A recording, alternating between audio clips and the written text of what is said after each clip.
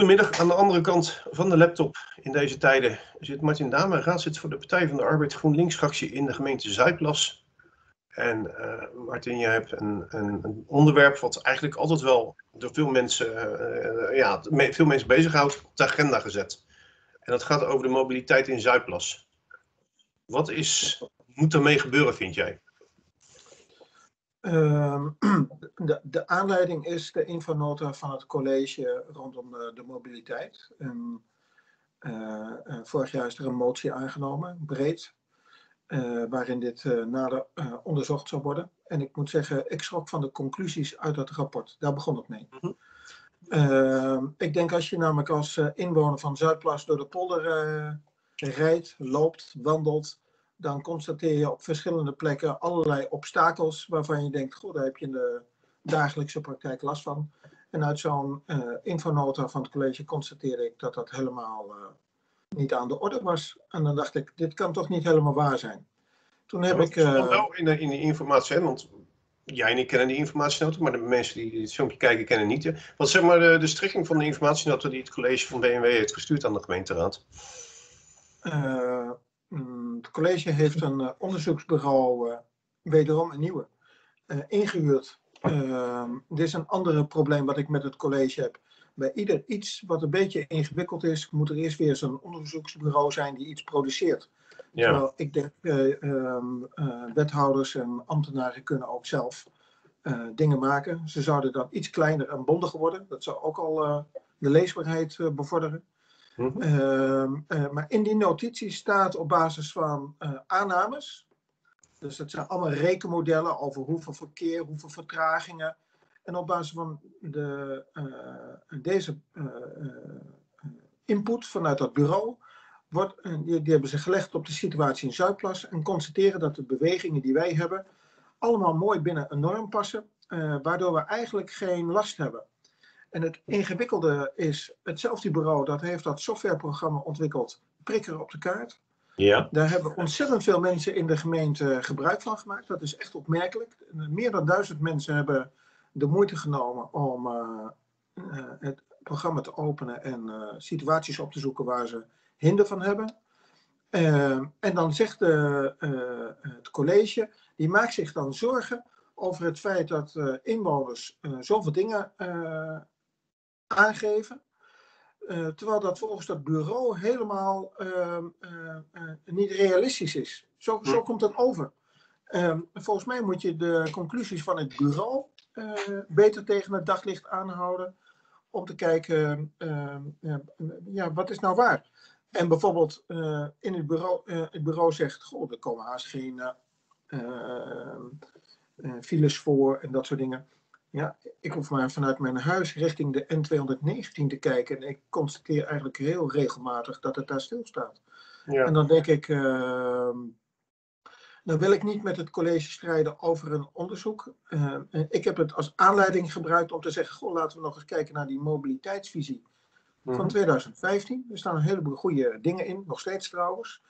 En daar heb ik eigenlijk uh, een paar dingen uitgehaald waarvan ik denk, ehm, eh, eerst zeg ik, wat inwoners onkenbaar maken, daar moeten we goed naar luisteren. Ik vind dat dat te weinig gebeurt in onze gemeente. Mm We hebben dat onlangs gezien bij het snelfietstracé in uh, Moordrecht. Dan moeten er echt een paar, uh, tegen de duizend mensen een handtekening zetten. Uh, wil de wethouder een beetje bewegen. Dat vind ik best wel gek. Mm Dan is het zo. Ehm, ehm, we moeten beter kijken naar die mobiliteit. En ik moet zeggen, het fietsen in zijn algemeenheid staat wel beschreven in die uh, notitie, maar een beetje magertjes. Daarvan zeg ik, goh, laten we daar nou eens meer handen en voeten aan geven. Laten we dat uitdiepen, omdat zeg maar fietsen, fietsen met een e-bike, maar ook rijden met een elektrische auto, heeft allerlei andere consequenties op dit moment. en die kunnen we goed gebruiken om zeg maar, het dichtslippen van onze gemeente voor te zijn. We weten allemaal dat er uh, uh, op termijn besluiten worden genomen voor grootschalige woningbouw. Dus er zijn nogal wat consequenties die op ons afkomen in het kader van mobiliteit. Daar moeten ja. we wat doen. En uh, een ander aspect is, onze gemeente bestaat uit dorpen. We houden van dat dorpse wonen. Ondertussen wordt er in die dorpen overal gebouwd. Ja. En op zich is dat prima. Ehm, maar ik denk, uh, er wordt altijd gebouwd vanuit uh, het idee van een projectontwikkelaar die daar wel iets moois wil neerzetten, maar daar ook uh, behoorlijk geld aan wil verdienen. En het gevolg is dat er dan veel eenheden worden gebouwd op een klein stukje, waardoor zeg maar, ook de mobiliteit in onze dorpen op, uiteindelijk in het geding zijn. En ik vind dat er een betere balans moet komen tussen wat vinden wij als inwoners van dorpen, wat daar moet gebeuren, en natuurlijk mag een projectontwikkelaar geld verdienen. Maar ik denk dat dat iets in evenwicht, meer in evenwicht moet komen. Ja. Nou, dus als ik zo jou beluister, zeg je van, nou, één belangrijk ding vind ik van, uh, je niet achter normen, maar ga kijken wat de mensen echt belangrijk vinden. Uh, de verkeersbeleving noem ik dat. Ja. Ja, want uh, wat ik misschien niet hard vind rijden, vindt een ander wel hard rijden. Maar als je dat gaat meten,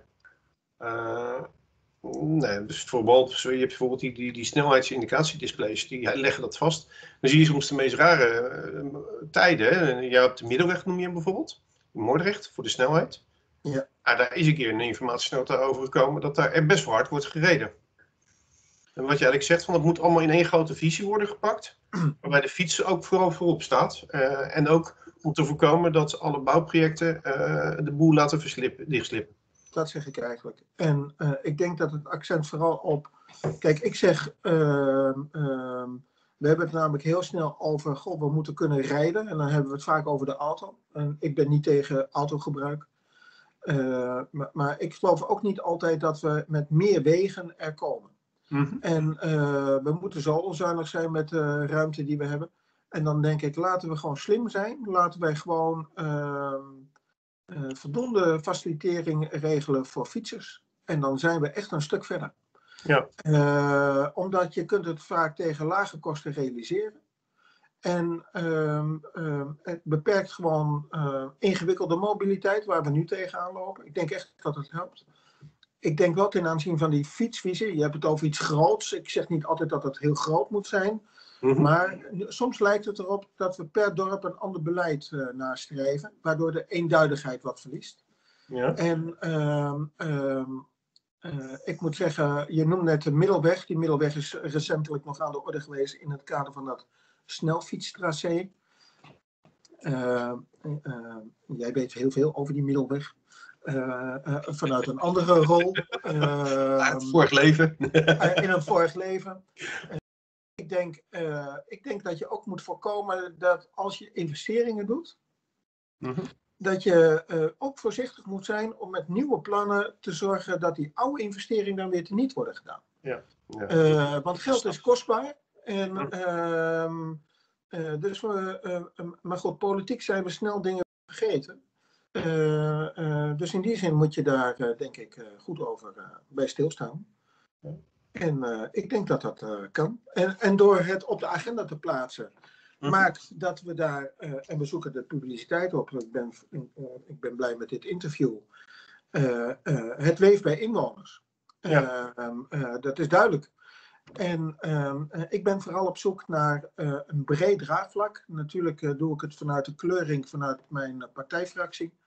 Maar ik hecht veel waarde aan dat we dat samen met het CDA, ChristenUnie en VVD uh, uh, kunnen ontwikkelen. Ja. Omdat uh, het, het, is veel belangrijker om dingen met elkaar te realiseren die we met elkaar vinden dan uh, één partij op zich. Ja. ja, even terugkomen op het snelfietspad, snelfietstracé, hoe we het willen noemen. Snelfietsroute is ook nog. Uh, wethouder Schuurman heeft in de najaarsnota gezegd: ik moet drie verschillende onderzoeken doen.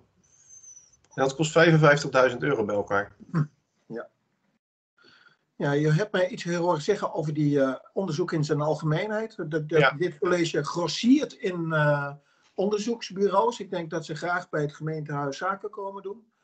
Uh, ik vind het belachelijk dat het zoveel geld moet kosten. Mhm. Omdat er namelijk al heel veel onderzoeksmateriaal ligt. Dus het is feitelijk gewoon een aanpassing op iets. Ehm, en, um, en wat ik zo ingewikkeld vind is van um, onderzoeken vertraagd. Uh, uh, volgens mij uh, moet de wethouder de telefoon pakken, de provincie bellen en zeggen: joh, politiek heb ik geen draagvlak, maar voor een alternatief wel. hoe lossen we het op? Ja. zo moet het gaan. En ja, ik kan de bal terugleggen bij, bij, bij gedeputeerde Vermeulen. Ja, ja. Ik weet dat er gelijk na de uh, raadsvergadering rondom het snelfietstracé uh, contact is geweest. Ehm, dus wat dat betreft is dat prima.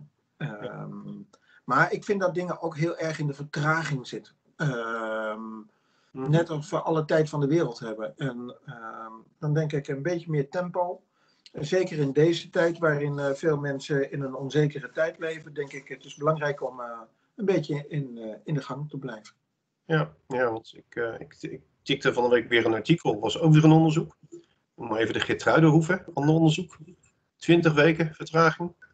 Ja. Collega Klovert die is daar gelijk in de pen geschoten. hoe moet dat anders? Want ik vind dat toch wel. Nee, ja, je, je kaart dit nu in dit interview aan. Dat lijkt toch interessant. Uh, zouden men niet gewoon eens moeten zeggen: we gaan, uh, de wethouders zelf gaan ook op onderzoek uit. Of we gaan veel meer leunen op de krachten van de inwoners. Nou, hoe zie jij dat? Uh. Nou, je hebt het mij eigenlijk horen zeggen. Ik denk inderdaad dat wethouders, we hebben best wel capabele wethouders. Ehm, ehm, die zijn heel goed in staat om op basis van hun eigen bevindingen en het horen van inwoners en hun eh, collega-ambtenaren eh, om daar eh, beleid van te maken, voorstellen te doen. het zou aanzienlijk in pagina's reduceren, want tegenwoordig gaat alles in tientallen pagina's, honderdtallen informatie wat je over je heen gestort krijgt. Dat is één. Ehm, ik moet zeggen, ik maak me wat dat betreft wel een beetje zorgen, want in de programmabegroting zoals die voor ligt, Mhm. Je moet wel op pagina 205 geloof ik komen, wil je het lezen. Uh, maar daar zit natuurlijk een, uh, een organisatievoorstel in. Ja. En de, los van het feit dat dat voorstel goede dingen kent, zit er één ding niet goed, namelijk men wil graag komen tot meer krachtige beleidsmedewerkers, ook om te kunnen acteren ten opzichte van onze omliggende gemeentes. Eh, die groter zijn en meer hebben. Ik denk dat we moeten beseffen, wij wonen in een kleine gemeente met uh, eh, 50.000 inwoners. En we groeien eh, in de komende 15 jaar naar 60, 65. Prima. Maar dat betekent altijd klein. En je moet geen grotere broek aan willen trekken dan je kunt passen. En ehm, ehm, ik vind echt dat we op dat vlak meer op eigen kracht moeten leunen. En je ziet dat wanneer je aan inwoners vraagt om goede ideeën te leveren. Ik constateer dat bij het, uh,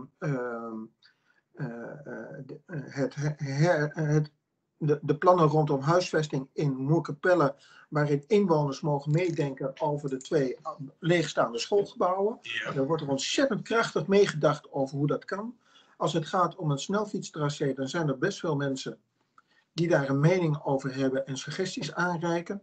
Dus wat dat betreft denk ik dat we in een hele levendige, uh, actieve gemeente wonen. En daar moeten we gebruik van maken. Dat doen we veel te weinig. Oké. Okay. Ja, dankjewel. Graag gedaan.